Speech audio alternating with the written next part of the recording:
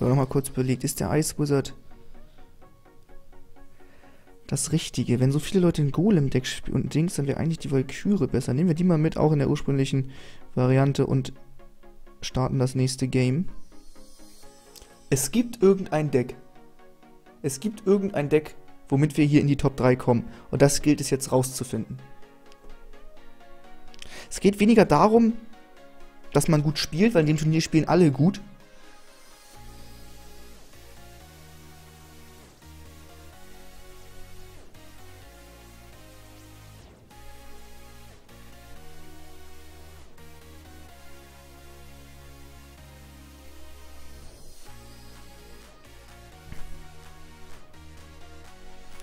Er lässt das Musketier durchlaufen, setzt seine Kobolde ein klein wenig zu spät. Und ja, jetzt macht er noch einen guten Poison Spell, ähnlich wie wir gerade platziert hatten.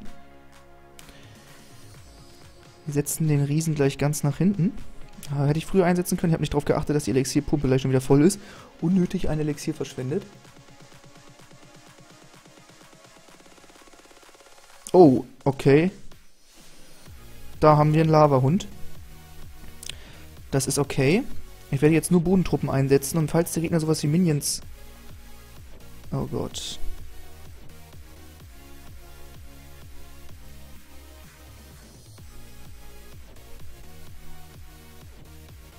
Mini-Packer ist am Turm, alles gut. So verteidigt man gegen den Lavahund. Viele Zuschauer beklagen immer, ich habe nichts dabei gegen Luft.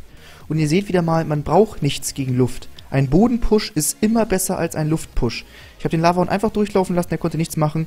Und gleich bevor er aufploppt, setze ich den Riesen ein gegen die Lavapups, dass die den Turm nicht angreifen. Auch das sieht richtig gut aus. So verteidigt man mit einem Giant Poison Deck ein Luftdeck. Und wir hatten jetzt hier gar nichts. Oh, das sieht nicht gut aus. Die schalten sich gegenseitig aus. Ja gut, der Inferno-Turm ist gesetzt. Der Inferno-Turm ist gesetzt. Das ist okay für uns. Den rechten Turm zu verteidigen gegen den Lavahund, es wird schwer. Wir müssen, glaube ich, gleich selber unseren Push starten. Erstmal das Musketier ganz nach hinten. Wir bräuchten gleich wieder den Riesen auf jeden Fall. Nochmal die Valkyrie dazu. Den Riesen hierhin mit den Guards und dem Sepp. Sieht auch sehr gut aus. Kommt der Gegner mit seinen Minions. Ich tue hier das Musketier hin. Das könnte jetzt von der Seite dort aus diese erledigen. Hm, sieht das auch gut. Zwei Valkyren am Start. Den Riesen direkt in den Inferno-Turm. Der sollte den jetzt... Ah, wir haben leider keinen Sepp ready. Ah, schalten sich gegenseitig aus und zwei Valkyren sind am Turm. Aber der Mini-Packer countert die natürlich gut. Jetzt nicht gerade das Einfachste. Das ist ein guter Sepp.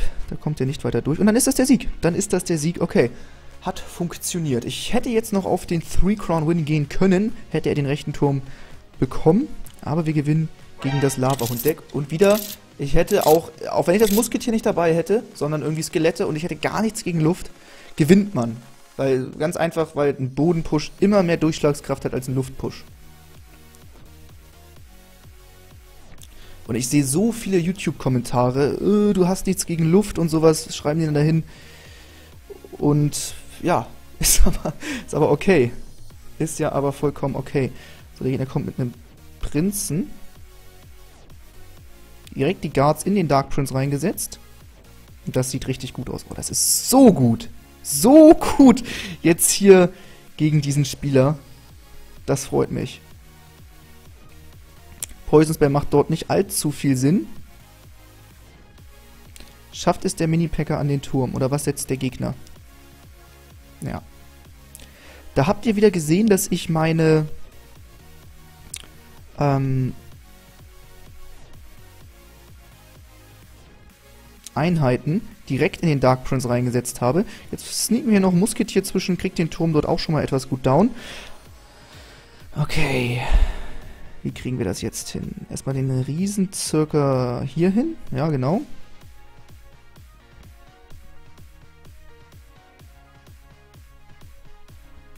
Oh mein Gott. Ich setze den Sepp falsch. Ich habe einen Missklick. Hat's gesehen? Ich habe den Sepp irgendwo hingesetzt. Und den Sepp brauche ich jetzt hier so dringend. Und habe ihn nicht. Was für ein Fail. Heute war es, glaube ich, schon der dritte Missklick oder so. Wie, wie unnötig. Wie, wie absolut unnötig. Das kann doch nicht sein. Ich habe mich heute echt schon dreimal gemissklickt. Da komme ich mit dem, ich ziehe die Karten mit dem Finger rüber und komme dann mit diesem kleinen Finger ähm, an das iPad und das registriert das als ein Klicken, ist natürlich auch klar. Und dann ähm, wird der dort hinter den King Tower eingesetzt. So ein Mist. Völlig überflüssig. Und sein Deck wird so stark in der doppelten Elixierphase.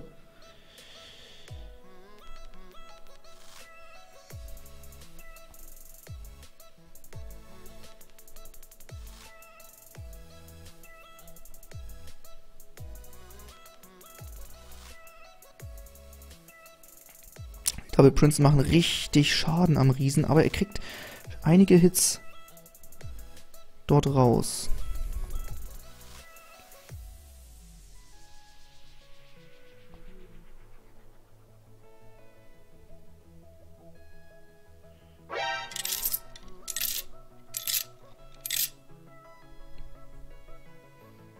Alter, die Packers habe ich ja mal richtig alt aussehen lassen, ne?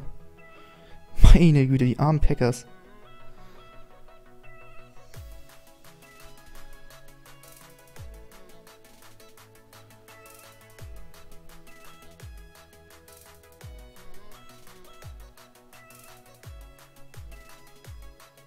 Alter. Was für ein Game. Der Gegner hat jetzt hier ein Double Prince Deck gespielt. Ich habe es erst zum Schluss gesehen.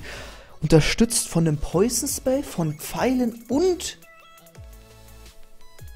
von einem Kampfholz. Das war ja nochmal knapp. Wie viel Schaden macht sein Kampfholz? Hätte ich dann verloren? Macht das Schaden Kampfholz? Macht das 95 Schaden?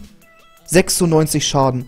Mein Turm hatte 95 HP und es macht 96 Schaden und ich hätte verloren, wenn es rechtzeitig angekommen wäre. Aber auch sein King Tower hatte dort nicht viel, hatte dort nicht viel Leben. Sehr schön, wir sind in den Top 3 und das gilt es jetzt noch eine Stunde und 20 Minuten lang zu halten. Mal gucken, ob wir das hinkriegen.